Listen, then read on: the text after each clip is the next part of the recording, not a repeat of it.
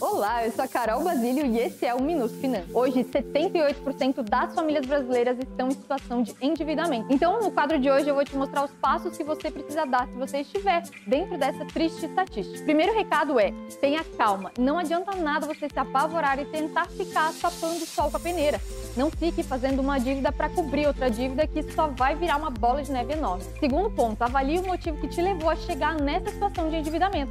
Não adianta a gente resolver esse problema agora e daqui a alguns meses ou anos você entrar nessa situação novamente. Terceiro ponto, se organize financeiramente. Reduza suas despesas, comece a controlar tudo que entra e tudo que sai do seu bolso.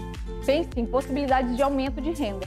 E só depois disso você começa a pensar nas suas dívidas. Quando você já estiver mais organizado e vendo sobrar um pouquinho de dinheiro dentro do mês, aí sim é o momento de você começar a negociar essas dívidas com os seus credores. Entre em contato com os seus credores para dividir e pensar em outras opções de pagamento e aí sim se comprometa com uma parcela que você sabe que você vai conseguir pagar. Lembre-se, pode ter demorado anos para você contrair essas dívidas e não vai ser do dia para noite que você vai ficar livre delas.